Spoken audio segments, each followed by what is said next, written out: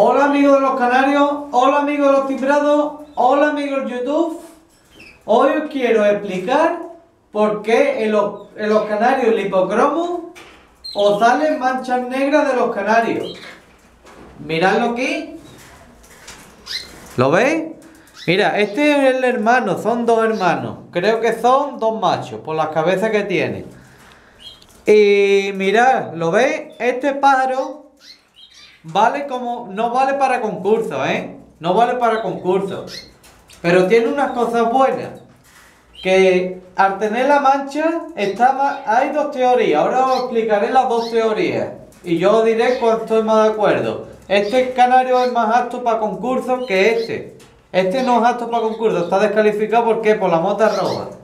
Primero, os quiero decir, ¿por qué sale la mancha roja? Hay dos teorías, os voy a explicar las dos, ¿eh? Yo estoy más por la segunda. Eh, primero, está por el, cardenalillo de Venezuela. Dicen ser rojo, os voy a explicar la mutación roja. La mutación roja no es roja pura de canario. Viene por una mezcla entre el pájaro cardenalillo de Venezuela y el canario. Que, hace, que fue de un alemán, ¿cuál Coni, Konisbey, me parece que se llamaba el alemán, en 1920 hizo un cruce de cardenalillo de Venezuela y canario. ¿Qué hizo? Sacó unos híbridos, en teoría. El híbrido era la hembra, el macho pisaba y se le llamó F1, ahora ese macho, F1, ¿no? Ese no era considerado todavía canario, pero sacó este mismo color, salió, salió anaranjado estos canales. Después esto se convierte en rojo con los tintes. Después ese F1 se lo echa a una canaria y sale un R1. El R1 es el R1 es el cruce del híbrido, vaya híbrido, no es híbrido, de la mezcla con la canaria.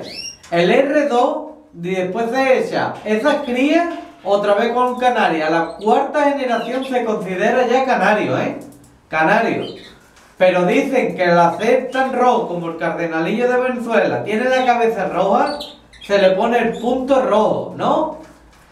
¿Cómo? Esto tiene, se puede quitar, se puede quitar. ¿Cómo se? Este no, lo quitamos del aviario y dejamos este. No quiere decir que sean más paros, ¿eh?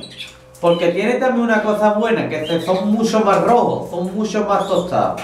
Como lo vemos aquí, ¿lo veis? Las alas aquí, aquí lo vemos, Sale mucho más rojo que otros pájaros, por ejemplo, que aquí, que es limpio, que está limpio, o que estos de aquí, o que estos de aquí, que son blanco puro. Estos de aquí, estas crías también, ¿lo veis? Ahí tenemos otro. Os, os diré también el porcentaje, sale un, uno, un 30% de pájaros melánicos, pero, pero se le puede quitar, ¿eh? Haciendo selección de nuestro aviario. Como yo he implantado los rojos nuevos este año, lo tengo que ir depurando. Y ahora os voy a decir la segunda, ¿eh? que por lo que creo que sale, ¿eh? que yo lo del cardenalillo, vale, está muy guay, está muy bien. Os voy a decir la segunda, porque esto no le pasa al rojo, le pasa al amarillo y al blanco. El blanco no tiene nada de, de, de cardenalillo, vaya, esto es mi punto de vista, ¿eh? que puede ser que me equivoque. Y puede ser por la, una, la, os voy a explicar, los colores, los licromos fue una mutación de que se le fueron la melanina a los canarios, por ejemplo, los timbrados, los timbrados es un pájaro melánico. Los timbrados, este de aquí, es un pájaro melánico, ¿lo veis? Ahí se le ve, y mutaron y desaparecieron lo que es la melanina y se quedó el color y fueron blanco, el rojo ya he dicho como salió o el amarillo, ¿no? Y se llama eso anciante, no me sale, anciatismo, se le llama eso, ¿eh? Y se quedó los paros así. ¿Qué pasa? Que todavía genéticamente, aunque sea una mutación anteriormente, tiene los paros melanina todavía, melánico. ¿Y qué quiere decir? Que al cruzarlo de los, antecesores te sale también. ¿Por qué? Porque te sale en el canario amarillo y en el canario blanco, que no tiene nada de, de cardenalillo de Venezuela. Os voy a decir una cosa, ¿eh? También el replume, en el replume, cuando son pequeños puede desaparecer, ¿eh? Y os lo he dicho, que uno, un 30, un 33% del aviario saldrá así en los primeros. Quiere decir que todos los años tenemos que ir clasificando como este. Este sería un ejemplar bueno para concurso y este estaría descalificado, ¿eh?